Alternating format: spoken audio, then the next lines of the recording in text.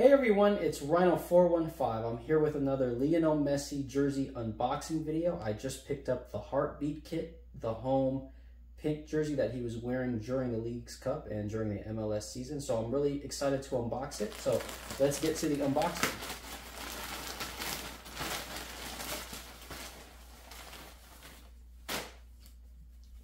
Here's the front of the jersey, authentic from Adidas. Here's the back of the jersey. So let me put the jersey on a hanger and I'll talk more about it.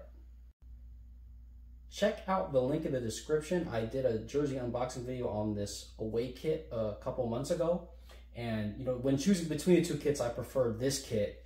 Yet Messi was incredible during the Leagues Cup. He had 10 goals in the games.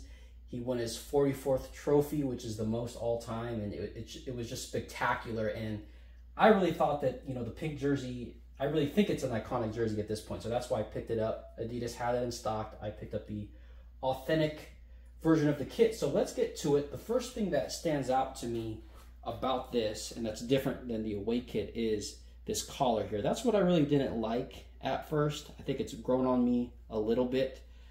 So it'll be interesting to see if they keep the collar for the next home kit they make. You get the Inter Miami crest here the Adidas logo, and then the sponsor.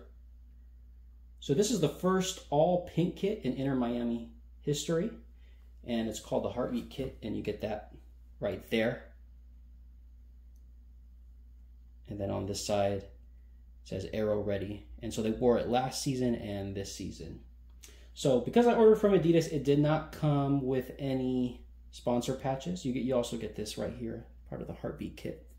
No sponsor patches. I don't mind that at all. Um, I'm a big NBA fan, and I actually prefer my NBA jerseys without the the sponsor. So that's it. I got it in a size large. That's the front of the jersey, and then on the shoulders here, you get the you know the Adidas three stripes. And then on the back here, you get this in Spanish that tra translates to freedom to dream. It says freedom to dream on the back of the neck on the away jersey that I'm wearing. And then here's Messi. And then now iconic number 10. So let me try the jersey on. All right, so here's the jersey. It actually looks really nice.